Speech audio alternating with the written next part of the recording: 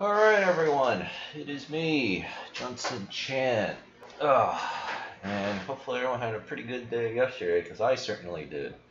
Uh, that Hustlers University stuff, ugh, all I could say is, man, where have I been all this time? But I actually was very lucky. Like, God put me right at the exact right moment, right after the end, basically, of a two-month chop where it was basically impossible to trade, and apparently at the end of this bear market too.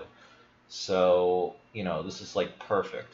All right, so yeah, I'm pretty much. I don't know. My account is up like a shit ton of money. I think we started like 2,000. Now I'm up to like 3,800 bucks. I'll probably be up to 4,000 once the market's open. All right, because I'm because yesterday I was supposed to day trade a Nvidia call, right? Buy it buy it yesterday and then sell it a couple hours later, right? The problem is I have a trading restriction. I have trading restrictions on my account. Well, it's soft. I can't do day trades unless I call up my broker and then like pay 20 bucks for a broker assisted fee. And um, yeah, so I had to hold it till overnight till today, and I was like, oh man, I hope it doesn't drop too much so I can profit because they already sold yesterday, right? They made 50%, all right? But if I, but it looks like I'll be able to sell and make like 120%. So I've actually been beginning to post all my wins on my uh, Twitter here. Oh, I was about to hit the stop recording button. No, I want to do hide the camera. So you can see on the upper right, you can just see it here. So this was the first real trade that I had when I joined uh, earlier this week. I mean, I joined last Friday or something like that, but basically, a nice 20% gain here. Uh, he, he made a and then we and then we took some losses. All right. Then we took some losses, right? So I lost about I want to say about two hundred dollars, maybe two twenty, right? Because because like we because we had to adjust because we were going short, and then we had a breakout, and then you know Ayush, the stock professor, is like, okay, we got to go long. We got to take our losses and go long because we, we're in a breakout. We're going we're going bull mode, all right? So we you know, so we ate the bullets, right? Uh, and it worked out really well because I already made it all back, and then now I'm deep in profit. It's like it's actually kind of insane. Like once you just can kind of just figure out what the trend is, because that's the hardest part. Yeah, then money just rains from the sky, right? Because that's really the only hurdle. So we had a shop call. This is, you know, I mean, this already makes up for half of my losses, right? And then I sold. Then we had a bunch of other plays, TQQ. QQQ, which is NASDAQ and Amazon, so you could just see for yourself how much money was made off of this. Right, my Amazon call, how much did my Amazon call make? Yeah, so, oh, I actually wrote it over here. So, let's see, oh, great, I, I combined it all. Yeah, so this was like 50%, 75% on my Amazon call, is that right? Yeah, like 60%, 65% my NASDAQ call, which I was not supposed to take because it costed too much money for my account size, but I did it anyway because obviously I'm very experienced and also, you know, I have Greg Mannarino's teachings and everything else that I know. So I knew that the indices were going up because what do I do every day? All right, we look at the stock markets. As long as the easy money flows, well, guess what happens? Oh well, gee, you know, I get a, I, I get my slice of the central bank uh, printing uh, press. So I made 50% on this NASDAQ call. I was definitely happy to just get rid of this thing because it was way too much. It was way too expensive, right? It just happened to be in my favor because we caught, we caught the right beginning of a bull move up. And which made sense because everything was so oversold. So it made total sense. And as we're going to talk about too, I know that this chips bill is what's actually pumping the markets. You got the Fed and the government pumping money into the system, right? Bear market people are like, including Greg Mannarino, unfortunately, are way too uh, biased towards the downside, and it's like screwing everything up, right? Now, even his call, Jeppy, has lost money. I already sold it so I could have more liquid cash to keep trading stocks, and thank God that I did. Right, and then uh, I already talked about Amazon. Uh, this was not part of the signals, but I bought this anyway because I wanted to get a cheaper version of Na- of a Nasdaq call. So I bought an out of the money call, and then you know that made me like 51% or 50% or whatever. So that's that. Um, and then I made like 40% on the spider call. This one, did I have to? Yeah, I had to hold this overnight, so I could have made a little bit more money. But I'm, but it's pretty close to the day trade because this was supposed to be a day trade, but again, I have a restriction on my account. And then later today, I'll be posting my Nvidia profits because as soon as the market's open, I'm dumping that shit. All right, I, I got lucky yet again because the Nasdaq is up. Actually, it's way up. Oh, well, look at that. Well, huh. I could play even more greedy and just hold on to it, but I don't think that's a good idea. I mean, I'm already far beyond what I'm supposed to be doing. So, yeah, I'm going to be up 200%, I think, on this. So I could actually hold it, all right? Because according to Ayush, he says that the daily analysis says the markets had a nice continuation yesterday after the breakout on Tuesday, but are a bit overbought in the near term. Best case scenario is consolidation day today. Worst would be a deep pullback. Not many new high probability setups. Uh, could be a sit on your hands day today. The supports for today are 392.5 and 388. If we hold above them, higher targets are 396, 400, and 404. If we fall back below 388, this breakout would ha have failed, and then uh, we'll see what happens today. Okay. SPY is running pre-market. Uh, yeah, I mean, right now the markets are just like insane right now. Like it literally is just going up. And funny enough, crude oil is crashing.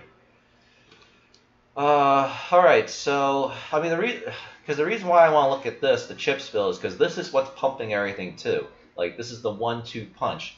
Fed easy money, chips bill, because this is worth 52 billion dollars. And then Intel and Nvidia are going to go skyrocketing. I mean, that's actually why Nvidia is going up like crazy. So, so I'm going to definitely be looking to re-enter to buy uh, Nasdaq futures, Nvidia calls, Intel calls. Let me see. Let's actually click one of these. Uh, okay. Let's see. I mean, technically, AMD should get a benefit from this too, because they make chips as well. Oh yeah, I gotta look up Texas Instruments.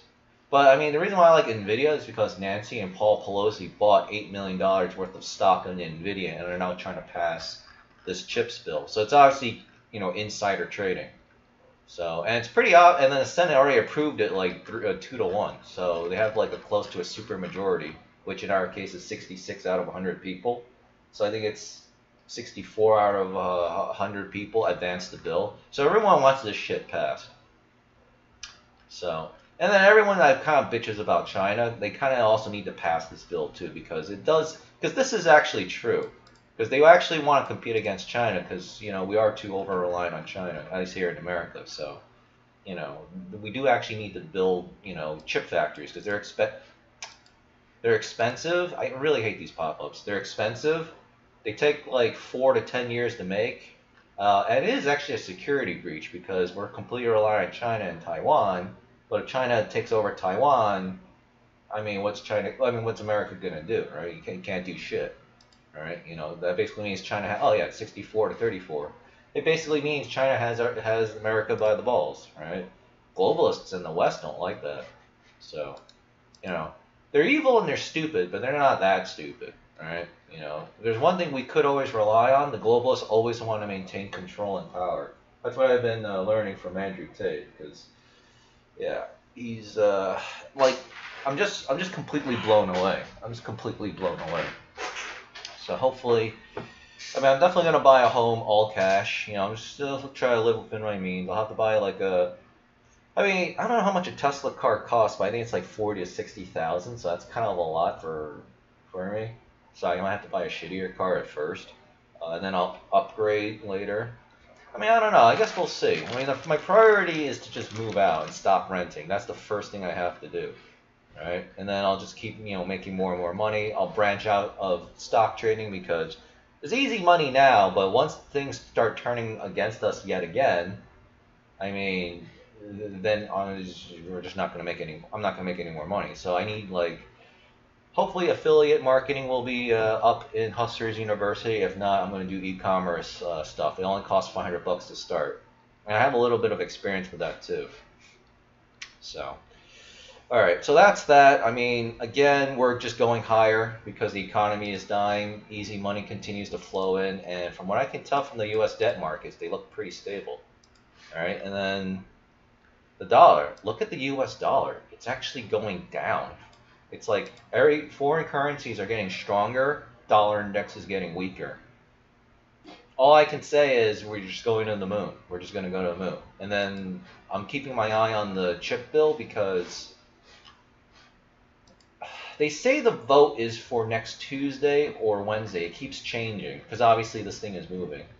So if this thing passes, which it should, we are going straight to the moon. Now it could be possible that the market's pricing that in and then they're going to dump on the news, right? Buy the rumor, sell the news.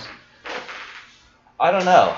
Again, I just can't get out of my head that they that Paul and Nancy Pelosi bought Nvidia stock, not options, but they bought $8 million worth of NVIDIA. That's a big portion of their wealth. And they bought long stock. They didn't buy options. They just straight up bought the NVIDIA stock. Oh, and lo and behold, yeah, it's pushing for 180. So I'm definitely going to dump this. I mean, it would be cool to wait this out to 185 or even 190, and then I would make like a thousand percent. But uh, that's actually a really bad mindset to have and that's what I'm learning at the Hustlers University. So I'll take my two 250 200 250% profit. I'll finally break $4,000 plus on my stock market account or get very close. And then just call it, you know? Because we're supposed to just sit back and wait. Where's Twitter? Oh, here's Twitter. Uh, aftermarket is up one penny. Yeah, so Twitter's still doing pretty well. So all right, so that's the stock market indices. We're supposed to consolidate today, and to be honest, I kind of want to see a pullback. So maybe we might see the pullback later today. We might see it tomorrow. Um, the the 10-year yield is starting to climb a little bit. Uh, Amazon's getting into the medical business, so uh, let me see. What am I looking for? Yeah, I mean, we just have a confluence of crazy shit next week. We got the CHIPS bill, we got the FOMC meeting on Wednesday, and we have the GDP report. I mean, uh, on Monday, I'm definitely going to buy some calls and maybe puts and then try to play this little gamble. but again, ideally, I want to see a pullback. So, I don't know. I might not even trade next week. Like that's how that's how difficult it's gonna be because there's just too much uh, news shit going on. Okay, so people are still pricing in a 75 basis rate point. It's basically two thirds. Okay, well PDVC went down yesterday slightly, I think, too, right? PDVC. Yeah, it went down slightly, and today, right now, it's going down. It's 90. It says 9:01 a.m., but it's 9:03 on my uh, computer. So, commodity prices are coming down. Crude oil is crashing like crazy for some reason. The dollar is crashing. So inflation is definitely going to be coming down for sure. Right? People should actually start noticing that prices should be coming down where you are, at least in America. Outside of America, I mean, um, I don't know. You'll have to check the, I guess, commodity prices for your country. Uh, but there is a lag effect. So yeah, it's looking pretty good. It's looking pretty good. Okay. Uh, I want to look at Fed repo. Yeah, I mean, this thing is still slightly going up. So, I don't know, we'll have to keep an eye on 10 year yield. I haven't really been listening too much to Greg Mannarino. Uh, I mean, I'm still watching him and Chuck Barone, but it's very obvious that the, the bearish buyers is just a little too much. But I'll still listen to people because it's important that I keep a open mind and then, like, okay, what do I know to be true and false that everyone else believes? trying to go too fast. What do I believe to be true that everyone else believes to be true that is actually false, and what does everyone believe to be false that is actually true? Because I want to counter trade what is actually what people believe. All right, everyone basically thinks we're going to shit. Right, and people still think, oh, economy is shit, so the stock markets might go down. No, it's the opposite now. The weaker the economy gets, the more the stock markets go up. Right? At least that's something Greg Mannarino has already drilled in our heads for a while. He hasn't mentioned, he hasn't talked about it in a while. That's exactly what's happening. Because as long as the economy falters, inflation remains steady. And if inflation remains steady, well, what can the Federal Reserve do? Oh, well, they can start pumping more money, right? The problem is they have to be careful about the U.S. debt market. All right. I knew yesterday I would probably be okay because I looked over at the U.S. debt market and the U.S. dollar, which was gaining strength yesterday. I oh, okay, more money will be pumping into the market, so I can probably hold this Nvidia call to tomorrow, which is today, and then be okay. Right. Again, and then I kept watching this and go, oh yeah. See, now it's starting to go up. So if this thing actually starts selling off a little bit, that might actually spook the markets. But I'm going to be out in 25 minutes. So, all right, so that's that. Uh, believe it or not, unless you're in the Hustlers University, I would probably avoid trading stocks and maybe even cryptocurrencies. Because cryptocurrency has been holding pretty well, but obviously when we got a nasty pullback, right, a whiplash effect, it's going to bring everything down, crypto stocks, whatever. So, and again, next next Wednesday, we have way too many, we have way too much shit going on. We have three major problems. I, and believe it or not, I think the least impact is actually this, because I was thinking about it. Everyone can see this, and it's pretty obvious that everyone knows we're in a recession, at least on the Wall Street. Right? They're not dumb, right? They're worth trillions of dollars. Their companies are worth trillions of dollars for a reason. So they know to just look this shit up and then go, oh hey, you know, CNBC, you know, Fox Business. Hey, tell people hey, we're not in a recession now, but we should start thinking about being in a recession later this year. And, you know, start, you know, the propaganda machine. So I'm thinking this is already kind of priced into the markets. All right. Then there's uncertainty about the Fed rate hike. And then there's uncertainty about whether this bill will pass or not. So we got 75 basis points. We're good to go because that's what people are pricing in mostly. Obviously, if this passes, this is highly bullish. Uh, the only problem might be, oh, we're actually in a recession, but not so bad. So how, how much will stupid people believe the propaganda? Considering the events of the past few years, I think it's gonna be this is gonna be a little bit hard. It's gonna be a little bit hard. So again, we'll have to look at you know the debt market here. All right, so I think that's all I have for you. Let me think and yeah, and then once I start making a lot of money, I'll you know get better clothes. You know, I'll probably get a girlfriend. Actually, I'll probably have tons of girls. I actually know a lot of hot girls are starting to follow me on Twitter, which is great, right? But I mean, I, I right now my situation's not exactly stable enough to have like a girlfriend or waste time chasing women. All right, so it's uh, but yeah, and um, yeah, you know, I I don't actually like doing it, but I'll probably have to do it if I want to actually have people take me more seriously and start growing this channel growing the Twitter. All right, I'll have to start like posting like interesting pictures that hey, I got money. Here's some cool shit of me doing cool stuff and whatever. I don't know. I'll worry about it later. Yeah, and of course we can get out of this uh, dreary little apartment that I live in. I mean, I actually like it, but you know, now that I want to be a top G, you know, I gotta set my standards, you know, higher. So, but that's all right. I mean, just working towards a goal and just climbing the ladder of life, you know, because I have the most important part. I'm actually in a community where people know what they're doing. They're not stupid like the dissident right, and they're positive networking effect. You'd actually hear me uh, talk more about that, but I still need to. I'm still learning a lot of stuff. I still have so many videos to go through. There's so much shit to do and learn. So, but but yeah, I'm kind of understanding why people, at least especially in the Republican space, right wing people, why we're so ineffective. Okay? Because we really just don't know how to network properly. Like, and when we do network, we network like retards, right? We, we have a negative effect on everyone. So that's why I'm kind of curious what's going to happen. The so-called Christian hardcore right versus kind of like the alt-right and I guess the Andrew Tate right, I guess. So, yeah, I, God put me here for a reason. So I'm very excited to find out what it is. I'm just glad that we're making money. And, um, yeah, and I don't think I want to actually cover too many crypto projects. It's got to be at least as good as Stable Fund app, or maybe even BNB Miner, even though BNB Miner is coming down. All right, because there's just too many. Because I don't want to be teaching people how to just try to get in and out real quick in DeFi like I know it's more subscribers, but that's just not a sustainable way to make money. So I'm so you know, but whatever. All right. Anyway, we went over a lot. So um, yeah. All right. I better I better uh, I better get ready to trade. So Uh, like, subscribe, share this video around. Thank you again to all the uh, old and new people watching this video. Uh, thank you, thank you, welcome, welcome. And um, yeah, as long as the good times continue to roll, you know, because we should be getting out of a bear market, definitely follow my Twitter. And, and well, you're watching this YouTube, so obviously just stay subscribed to this YouTube. And uh, yeah, I'll be posting all my wins here. Uh, problem is the interface really sucks on my broker, and they don't. And then there's a there's a pro, there's an actual profit and loss UI. The problem is it waits an entire day. I don't have time to wait on that, so it doesn't show me my because I need to show my shit in real time. So I'll just try to like write down my losses and say how much money I lost, all right, and then how much I get it back, and and then I'll try to do my do my best.